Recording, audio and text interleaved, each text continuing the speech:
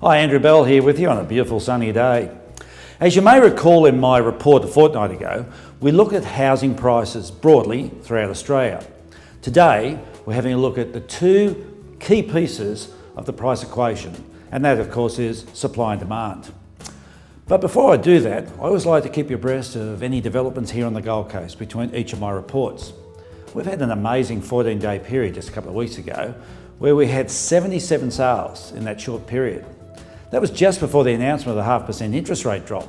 It gives some indication of the volume of people re entering the market.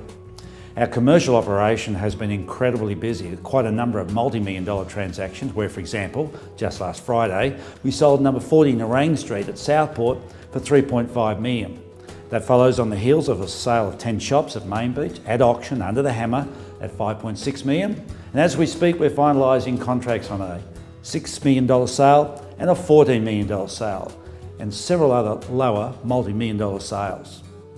Residentially, it's been a brisk period. I'll be able to report you shortly on another sale which will be a record residential sale price on the Gold Coast. Another example of the activity was our appointment to the sale of 30 apartments in the Outrigger Hotel building here in the heart of Surfers Paradise, where we sold all of them in 14 days. The above activity is certainly surprising many, you can only imagine just how much stronger it's going to be as the half a percent interest rate reduction benefits filter through and of course all the arm wrestling over Europe finally subsides. More of that later, and I will give you an update on the record sale price in my next report. Well, real estate prices ultimately are driven by supply and demand.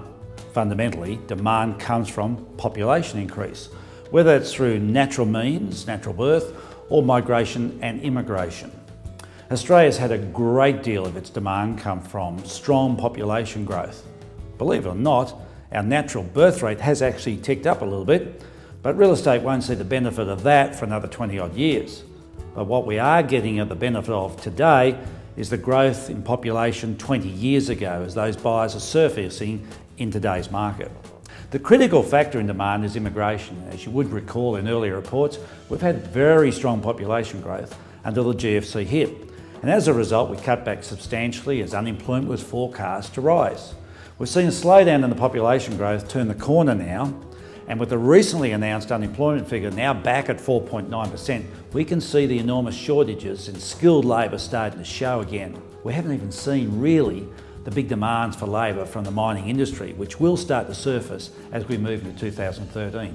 So no doubt we will see the immigration start to rise rather sharply once again.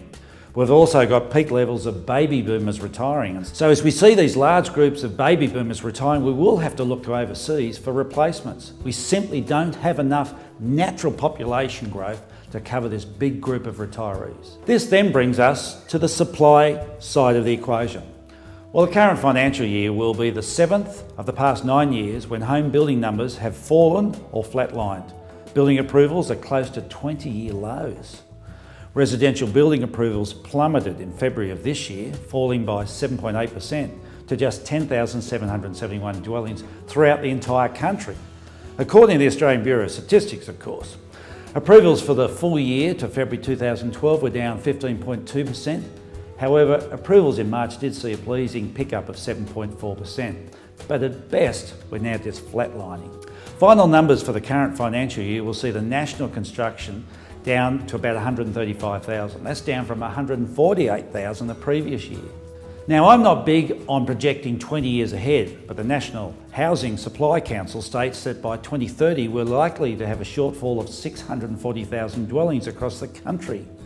This doesn't allow for whatever changes may be implemented between now and then, but what is clear is the GFC has caused significant shortage in stock numbers. This situation is not quite evident yet because people are making do in all sorts of ways, but once confidence recovers, buying demand picks up, and of course the shortage will really start to show itself. This will create much greater competition amongst new buyers as they come into the marketplace, and something we haven't seen for quite some time.